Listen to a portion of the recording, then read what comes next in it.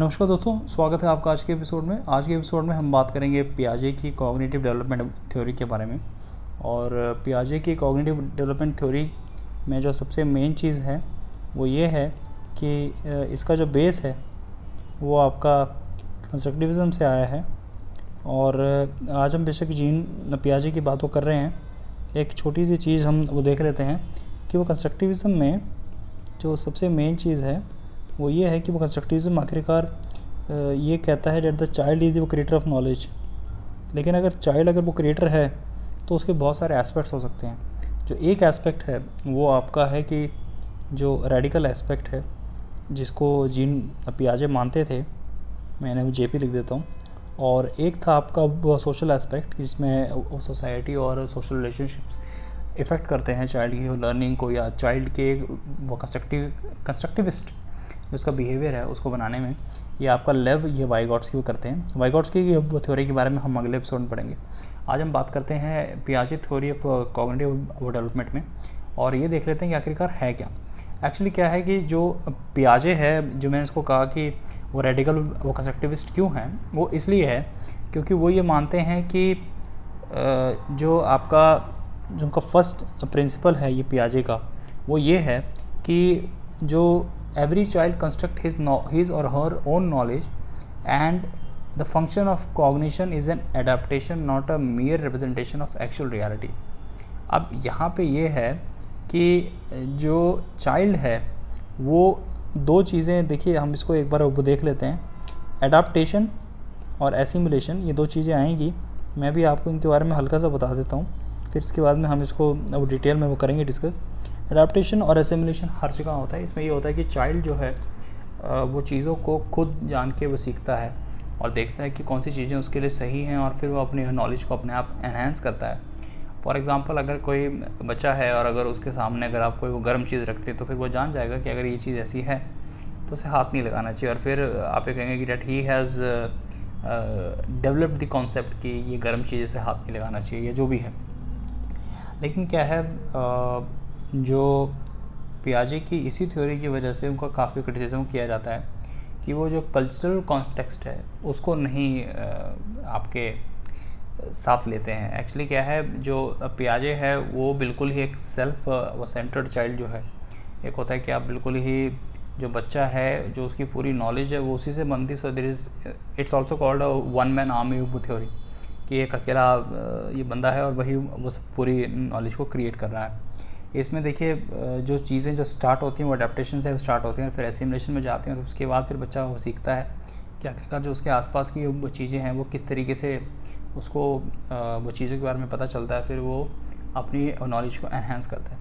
इसके लिए हमें दो तीन वो चीज़ों की बात वो करनी पड़ेगी, जिसमें पियाजे अपनी थ्योरी के लिए ये कहते हैं कि आपका जो कॉग्निटिव डेवलपमेंट है, वो दो चीज़ों से वो चलता है। और वो है आपका जो कोग्निटिव डेवलपमेंट है, वो आपका जिन मेन चीज़ों से वो चलता है, उसमें एक तो आपका जो थॉट प्रोसेस है, उसमें आपका आता है रिमेम्बरिंग आप किसी चीज़ को याद करें, उसके बाद आपका प्रॉब्लम सॉल्विंग आप किसी प्रॉब्लम को कैसे सॉल्व कर सकते हैं। और जो तीसरा आता है वो आपका है वो डिसीज़न मेकिंग ये जो आपका डिसीज़न मेकिंग इसमें आता है ये वो डिसीज़न मेकिंग आपके लिए बहुत ज़्यादा ज़रूरी हो जाता है।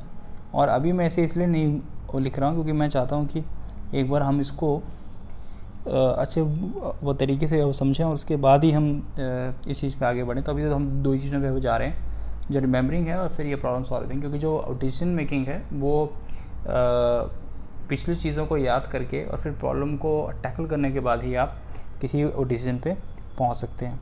अब यहाँ पे देखिए एक बहुत ही मेन चीज़ आ जाती है और वो ये आती है कि जो कॉग्निटिव डेवलपमेंट में है, उसमें जो बच्चा है या कोई भी अगर इंडिविजुअल है, वो ये देखता है कि जो पर्सन है, वो किस तरीके से चीज़ों को परसीव करता है और किस तरीके से वो चीज़ों को परसीव करता है, सोचता है और अपनी चीज़ों से जो उसके आसपास की चीज़ें हैं, उन, उनसे इंट्रैक्शन के थ्रू वो ये सीखता है कि आखिरकार अब इसमें क्या होगा।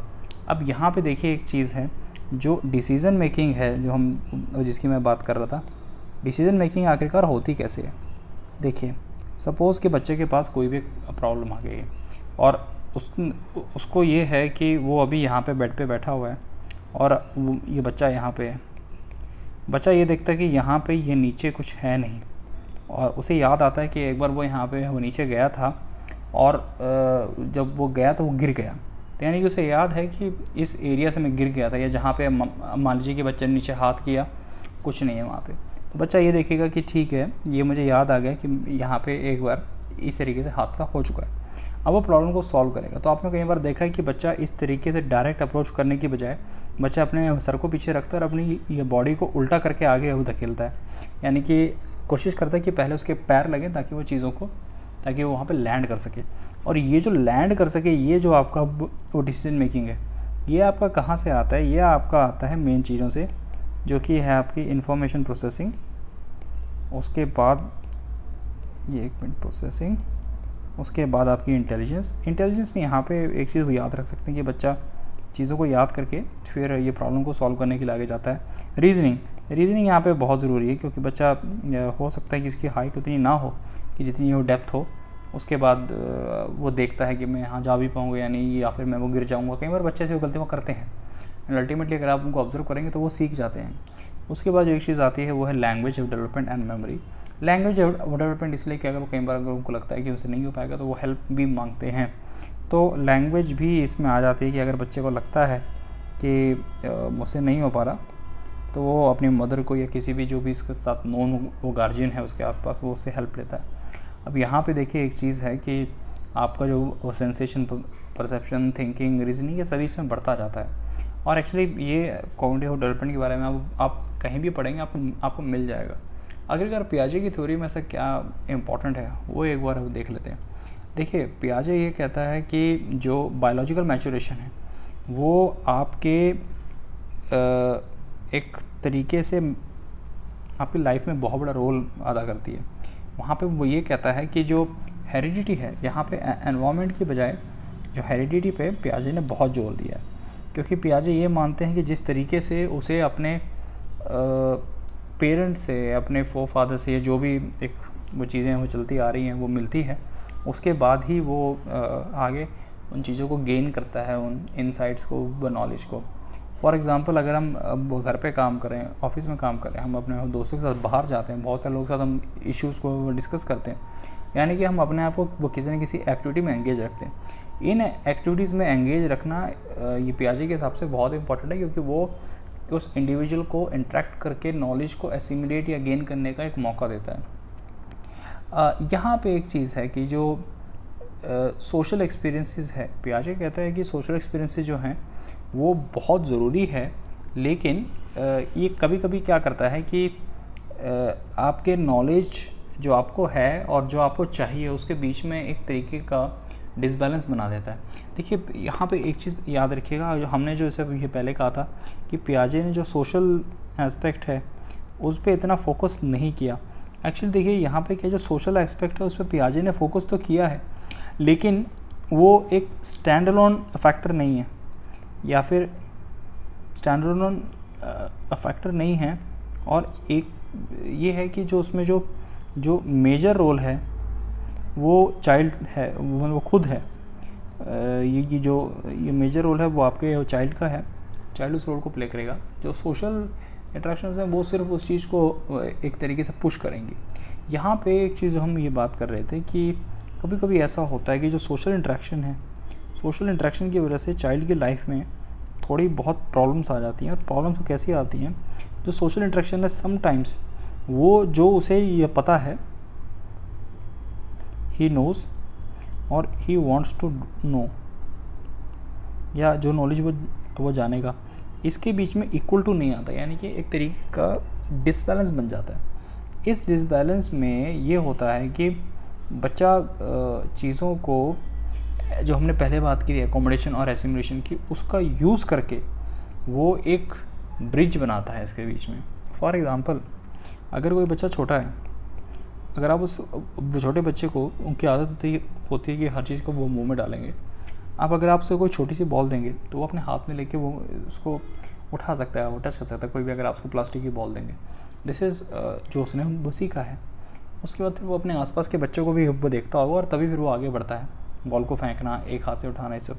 लेकिन अगर आप उसे कोई थोड़ी सी बड़ी बॉल देंगे, जो कि उसके हाथ के साइज़ से थोड़ी सी बड़ी है, और अगर हल्की सी भारी भी हुई, चाहे वो प्लास्टिक की भी हो तो बच्चे के लिए उसको एक हाथ में पकड़ना बहुत मुश्किल है। अब यहाँ पे देखिए क्या है, बच्चे ने ये तो सीखा है कि उसे बॉल को हाथ से पकड़ना है।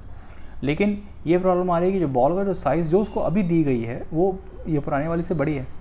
उसे ये पता है कि मुझे बॉल को हाथ से पकड़ना है, पर अब उसे ये देखना पड़ेगा कि बॉल को सक्सेसफुली उठाने के लिए मुझे एक हाथ की ज़रूरत पड़ेगी या दो हाथ की ज़रूरत पड़ेगी।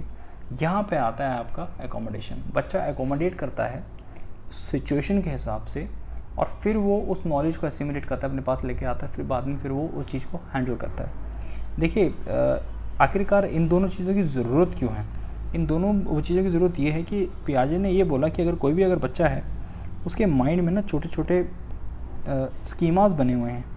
जो स्कीमाज आपके होते हैं स्कीमाज आपके वो कुछ भी नहीं होते। Schemas are simple mental pictures या मेंटल इमेजेस ये मेंटल इमेजेस क्या होती हैं कि जैसे मैं आपको बहुत ही अच्छा एग्जांपल देता हूँ। हम लोग छोटे थे तो आ, मुझे ये बताया गया था कि जो शेर होता है उसके चार पैर होते हैं और उसकी एक पूँछ होती है और कान वगैरह तो खैर होते ही हैं। तो जब मैंने पहली बार जब मैंने वो ज़िंदगी में जब मैंने भैंस को देखा तो मैंने अपने घर वालों को कहा कि देखो मामा शेर। बिकॉज़ मैं कभी गाँव में रहा नहीं था तब तक और जो भी मैंने टीवी पे या फ़िल्मों में या फिर जो भी पिक्चर्स में देखा तो मेरे माइंड में जो इमेज या जो वो स्कीमाज बने हुए थे वो ये थे कि शेर के चार पैर होते हैं और एक पूँछ होती है। Irrespective of the colour colour के बारे में मुझे कोई आइडिया नहीं था क्योंकि मेरी स्कीमाज में सिर्फ़ चार पैर और एक पूँछ थी। तो यहाँ पे जाके फिर जब मुझे कॉन्ट्रडिक्शन हुआ, क्योंकि जब जो सोशल इंट्रैक्शन हुआ लोगों के साथ, तब तो मुझे पता चला ये शेर नहीं, ये भैंस होती है। तो यहाँ पे फिर मुझे उस चीज़ को एकोमोडेट करने में टाइम लगा कि शेर ऐसा होता है और भैंस ऐसी होती है। लेकिन एसिमुलेट क्या किया मैंने कि जो नॉलेज जो मुझे मिली थी, जो मैंने खुद गेन की बिकॉज़ किसी ने आके मुझे नहीं बताया कि अच्छा आपको पता है कि शेर के शेर के चार पैर होते हैं, लेकिन शेर ऐसा नहीं होता। नहीं, मैंने सोशली इंटरेक्ट किया।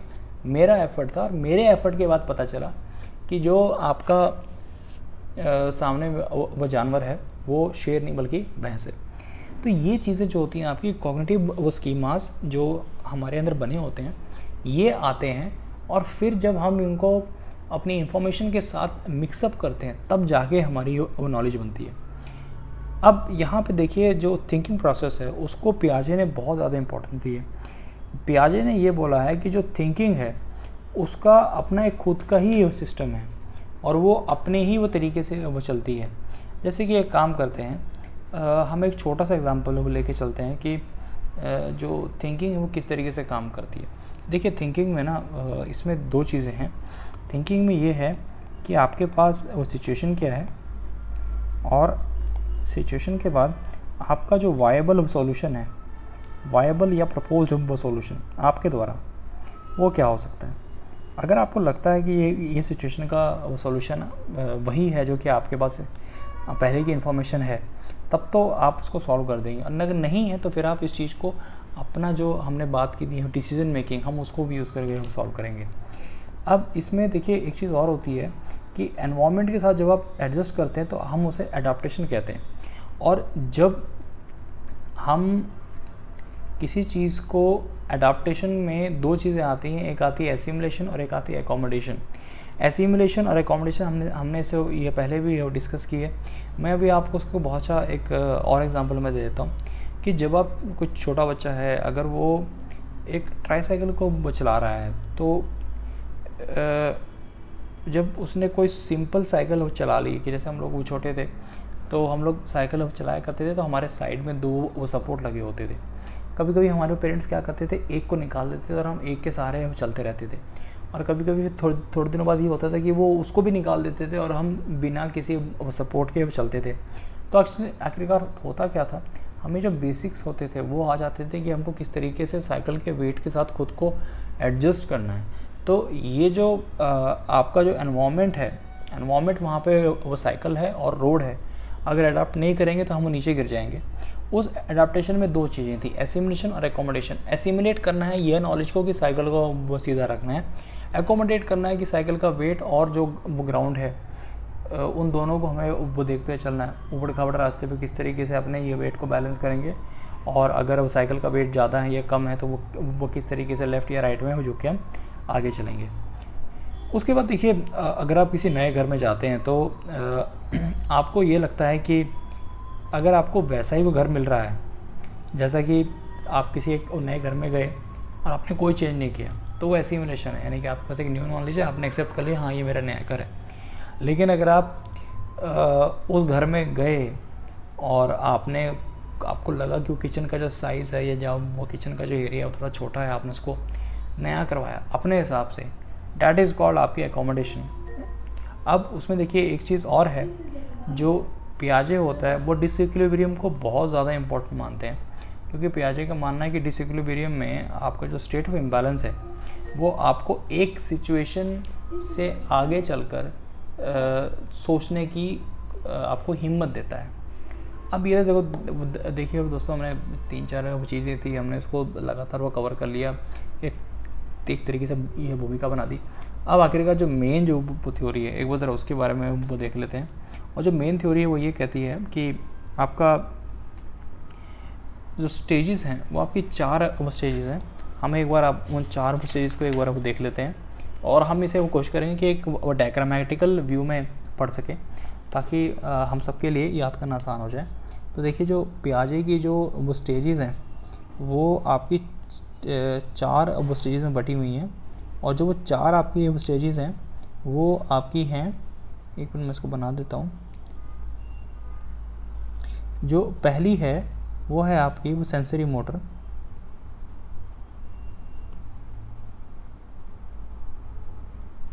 जो दूसरी है, वो है आपकी प्री ऑपरेशनल प्री ऑपरेशनल बहुत ज़्यादा इम्पोर्टेंट चीज़ है। एक्चुअली इसमें सारी ही इम्पोर्टेंट है। हम एक बार सबको देखेंगे। लेकिन प्री ऑपरेशनल इसलिए भी इम्पोर्टेंट है कि ये एक तरीके से आपके जो जो कंसेप्शन है, जो माइंड में जो आपके ये बनते हैं, ये उसकी एक लगभग मतलब बिगिनिंग है। तो कहते हैं ना कि अगर well begun is half done ये केस उसके साथ होता है। प्री ऑपरेशन के बाद जो आपकी एक वो स्टेज आती है, वो आती है आपकी वो कंक्रीट ऑपरेशनल तो कंक्रीट ऑपरेशनल में आपको ये देखना पड़ता है। मैं इनका नाम एक बार यहाँ पे दोबारा लिख दूँगा। बस आप एक बार यहाँ पे इसको पढ़ लीजिए। जो फॉर्मल ऑपरेशनल है, ये आपकी लास्ट स्टेज है। देखिए, जो आपकी सेंसरी मोटर है सेंसरी मोटर जो स्टेज है आपकी, ये आपकी मेनली आपके वो सेंसिस का यूज़ करती है। इसका जो टाइम है, वो है आपका बर्थ से लेकर टू इयर्स तक। इसमें होता क्या क्या है? इसमें आपका होता है, जो सेंसरी और ये मोटर एक्टिविटीज़ हैं, आप उसका यूज़ करते हैं। सेंसरी यानी कि जो आपकी पाँच है, वो सेंसीज हैं। और मोटर एक्टिविटीज़ में जो आप अपने हाथ पैर का इस्तेमाल करते हैं, आप आगे पीछे वो चलते हैं, बच्चा पैदा घुटनों के बल चलता है, बैठना सीखता है या फिर दौड़ता है, चलता है, वो चीज़ों को वो टच करता है, सुनता है फील करता है, वो टेस्ट करता है। कई बार बच्चों को आप नींबू दे दो चाटने के लिए तो बच्चा बहुत ही अजीब व गरीब वो तरीके से रिएक्ट करता है। तो ये सब चीज़ें हैं, वो लर्न करता है कि टेस्ट क्या है इन सब का वो इस्तेमाल करता है। तो सेंसरी एंड ये मोटर एक्टिविटीज़ होती हैं जिससे कि वो चीज़ों को वो समझ सकता है। उसके बाद आपका आता है pre operation stage pre operational stage में दरअसल ये इसलिए भी इंपॉर्टेंट है कि अब बच्चे के पास थोड़े बहुत वो कंसेप्शंस बनने चाहिए। तो ये जो थोड़े बहुत वो कंसेप्शंस जो ये बनते हैं, वो इसलिए भी इंपॉर्टेंट है। देखिए, मैं आपको बता देता हूँ, क्योंकि अब दो साल के बाद उसके लगभग वो सेंसेस जो भी इसके वो सेंसरी एक्टिविटीज़ हैं और जो ये मोटर एक्टिविटीज़ हैं, वो लगभग डेवलप हो चुकी हैं। तो ये आपका जो दो साल से लेकर सात साल का जो वो टाइम पीरियड है, इसमें जो बच्चा है, वो जिन चीज़ों का यूज़ करता है वो है वो सिम्बल्स उसके बाद आपका लैंग्वेज लैंग्वेज तो देखिए, आप, बच्चा इमिटेशन से ही सीखता है, उसके बाद फिर वो चीज़ों को देखता है। फिर वो पिक्चर्स को आइडेंटिफाई करता है, उसके बाद साइंस हैं, या फिर वो कुछ अपने गेस्टर्स बनाता है कि जैसे कि ये बताने के लिए कि वो क्या फील कर रहा है। और कई बार वो चीज़ों के लिए ऑल्टरनेट जो वोकेबलरी है, वो उसको भी बनाता है। उसके बाद आता है आपका वो कंक्रीट ऑपरेशनल कंक्रीट ऑपरेशनल आपका इसलिए इंपॉर्टेंट है कि कंक्रीट ऑपरेशनल में जो बच्चा है, वो आपका ये देखता है कि अब देखिए वो सात साल से ग्यारह साल तक हो चुका है, ठीक है, और अब वो स्कूल में जा रहा है। नॉर्मली जैसे ये प्री ऑपरेशन के लास्ट स्टेज में हम बच्चे को स्कूल में भेजते हैं, पाँच साल के बाद या छः साल का होने पे। तो अब वो वहाँ पे लोगों से मिक्सअप हो रहा है। तो वहाँ पे क्या है? जो बच्चा है अब वो चीज़ों को कंक्रीट ऑब्जेक्ट से सीख रहा है। वो चीज़ों को और भी अच्छे तरीके से वो, वो सीख रहा है। और वो इसलिए है कि देखिए क्या है कि जैसे मान लीजिए अगर आपके पास आ, कोई भी हाँ जैसे मान लीजिए कि आपके पास एक ये पेंसिल है। अगर आपने उनको फ्लोर में डाल दिया और अगर आप बच्चे को कहोगे कि मान लीजिए आपके पास चार पेंसिल हैं, आपने उसको, और वो चारों पेंसिल अगर सेम शेप की हैं, आप बच्चे को कह सकते हो कि देखो बेटा, अगर मैं इसको, अगर मैं इसको इस तरीके से रखूँगा तो ये रेक्टेंगल है। अगर मैं इसको इस तरीके से रखूँगा तो ये स्क्वायर है। जैसे ये मुझसे बना नहीं है। अगर आप इस, अगर आप ये पेंसिल को तीन इस तरीके को इस तरीके से रखोगे तो बेटा ये ट्राइंगल है। यहाँ पे बच्चा जो कॉन्सेप्ट जो उसने प्री ऑपरेशन में लगभग लगभग उसने पिक्चर्स में देखे थे, सीखे थे, सुने थे कहीं, वो यहाँ पे उनको कंक्रीट फॉर्म में आने के बाद वो सीखता है। उसके बाद आपका आता है फॉर्मल ऑपरेशन स्टेज देखिए फॉर्मल ऑपरेशन स्टेज मैं थोड़ा सा अलग लेके अब चलूँगा। ये एडोसेंस का अब स्टेज है, इसलिए मैं ऐसे बाद में अब डिस्कस करूँगा अच्छे से। क्योंकि ये जो 12 साल से लेकर जो जो एडल्टहुड है, यहाँ तक का जो स्टेज है, इसे हम एडोलसेंस के लिए एक अलग वो चैप्टर में वो डिस्कस करेंगे या अलग वीडियो लेक्चर में वो डिस्कस करेंगे। और यहाँ पे देखिए क्या होता है कि बिकॉज़ यहाँ पे सब चीज़ें बदल जाती हैं और क्यों बदलती है वो मैं आपको बताता हूँ। ये हम लोग कई बार इन चीज़ों को डिस्कस नहीं करते हैं। और वो ये है सेंसरी में बच्चा अपनी सेंसिस का यूज़ करके जितनी उसकी लिमिटेड वो कैपेसिटी होती है वो चीज़ों को एक्सप्लोर करता है। प्री ऑपरेशन में ये बच्चे के पास सिंबल्स हैं लैंग्वेज है पिक्चर्स है साइन है, वो गेस्टर्स है, वो चीज़ों को थोड़ा बहुत सीखता है, थोड़ा बहुत बनाता है, वो एक ऑल्टरनेटिव जो है वो चीज़ों का, जो कि उसके लिए अब सुटेबल हैं। वो उनका इस्तेमाल करता है। लेकिन जो कंक्रीट ऑपरेशन में, फिर वो बाद में जो उसके ऑल्टरनेटिव सॉल्यूशंस जो उसने बनाए थे, फिर वो उनको एक ठोस फॉर्म में, अपने सामने देख के वो सीखता है। कि अगर मैं, कि अगर मुझे वो टीचर ने कहा था कि ट्रायंगल ऐसा होता है या उसने कभी कोई शेप देखी और आपने कहा कि बेटा ये ट्रायंगल है।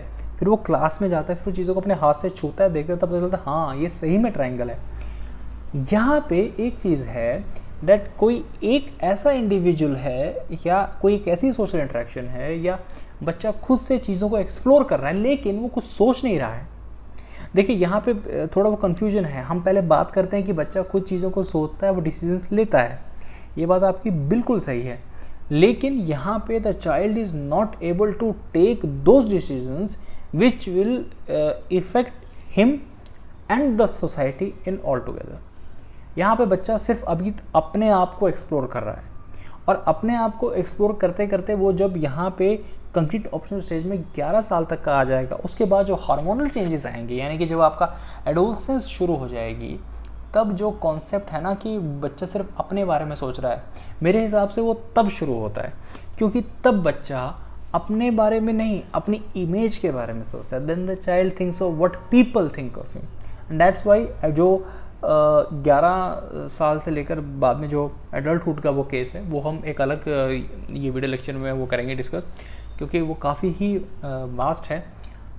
और जो एक चीज़ जो हम लोग हमेशा देखते हैं, ये पियाजे की थ्योरी में, जिस चीज़ पे उन्होंने स्ट्रेस नहीं किया, उन्होंने कहा था कि the child is the sole creator of our knowledge and the social interaction सिर्फ़ एक ज़रिया है कि वो लोगों से इंटरेक्ट करता है, फिर से पता चलता है कि हाँ ऐसा भी कुछ हो सकता है। लेकिन फिर वो अपने आप करता है और फिर वो चीज़ों को अब सीखता है। लेकिन जो मेन बेसिस है आपका प्री ऑपरेशन और ऑपरेशन का या फॉर्मल ऑपरेशन का। वो यही है that the society also plays a very important role the social interaction the people around us they also play a very important role और वही हमारी नॉलेज को कई ज़्यादा हद तक अफेक्ट करते हैं। तो ये जो है, ये आपका बेसिस है वाई गॉड्स की की सोशल डेवलपमेंट थ्योरी का, जो कि हम अगले एपिसोड में वो करेंगे डिस्कस तो दोस्तों, ये था हमारा आज का एपिसोड थोड़ा सा हमने इसको शॉर्ट रखा है बिकॉज़ हमें ये मैसेज मिला था। कि सिर्फ़ एक बार लेमन टर्म्स में फटाफट वो चीज़ों को एक्सप्लेन कर दें। अगर आप चाहते हैं कि किसी एक एस्पेक्ट पे डिटेल रिव्यू चाहिए, या वो डिटेल वीडियो लेक्चर चाहिए या डिटेल्ड वीडियो लेक्चर चाहिए तो प्लीज़ आप हमें बताइए, हम ज़रूर उसको अपलोड करेंगे। दोस्तों, वो तब तक के लिए अब रखिए अपना ख्याल। एग्ज़ाम के लिए ऑल द बेस्ट